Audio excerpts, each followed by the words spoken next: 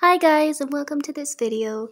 Uh, in today's video I'm going to be styling a really pretty green blazer that I got at a um, emporium, like a thrift shop. It was this really cool one in Ruidoso.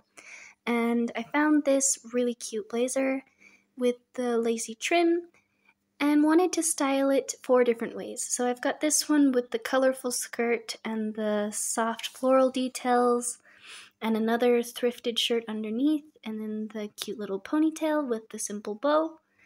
And then I had a couple other ones with different options, such as uh, this one where I had um, my embroidered skirt with a top that I made for a cosplay that also has some embroidery details on it, and this one was a lot simpler but really pretty.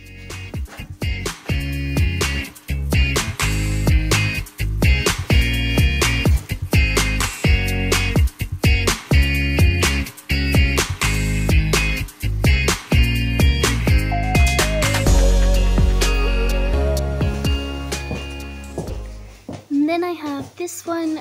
I chose this really pretty teal blue skirt and top um, that I made as a matching set.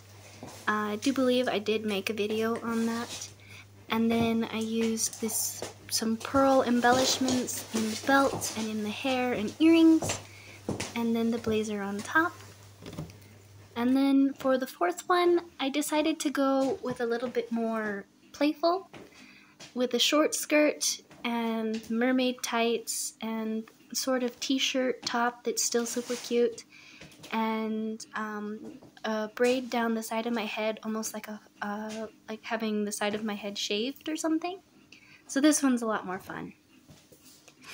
Anyway thank you guys so much for watching. Feel free to leave any comments or suggestions you may have and we'll see you next time